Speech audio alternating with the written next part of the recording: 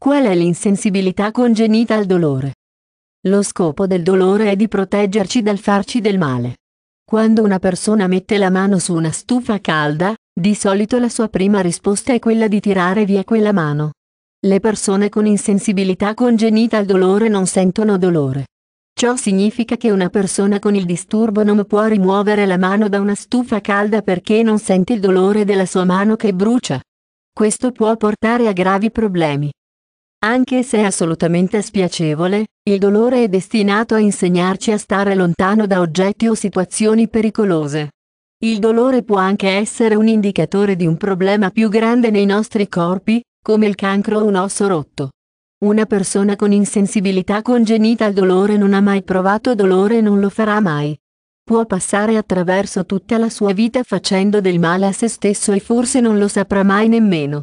Il trattamento medico per le persone con insensibilità congenita al dolore può essere difficile quante volte i medici fanno diagnosi parzialmente in base alla posizione e alla gravità del dolore. L'insensibilità congenita al dolore è una malattia che colpisce la parte del corpo che controlla la ricezione del dolore. I nervi che percepiscono il dolore non possono tradurre quell'informazione nel cervello, e quindi la persona non sente nemmeno il minimo fastidio. Questa condizione è congenita, il che significa che è presente alla nascita. Quindi, un bambino con insensibilità congenita al dolore può essere gravemente ferito, ma sembrerà un bambino felice. Un bambino con questa condizione è in pericolo estremo. Se mordichiamo la lingua, per esempio, smettiamo di morderlo perché fa male. Un bambino con insensibilità congenita al dolore non si fermerà perché non sa che si sta facendo del male. Un bambino simile può giocare con la stufa, tirare i capelli, fulminarsi o giocare troppo bruscamente e farsi del male perché non ci sono stimoli negativi che gli dicano di fermarsi. Questo può portare a gravi problemi e lesioni devastanti. Un'altra forma di insensibilità congenita al dolore è chiamata insensibilità congenita al dolore con anidrosi. È caratterizzato dal fatto che una persona non è in grado di provare dolore o temperature estreme e di non essere in grado di sudare. Una persona simile potrebbe non sapere che è troppo caldo o troppo freddo.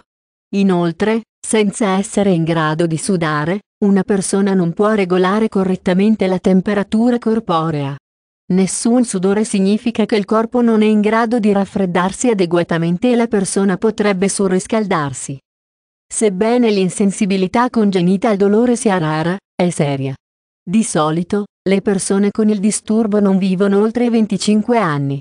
Senza la capacità di provare dolore, le persone possono rompere le loro ossa, bruciarsi o contrarre malattie gravi senza mai sapere che qualcosa non va nel loro corpo. Pertanto, possono sviluppare gravi infezioni o malattie che potrebbero essere evitate se prima avessero chiesto aiuto medico.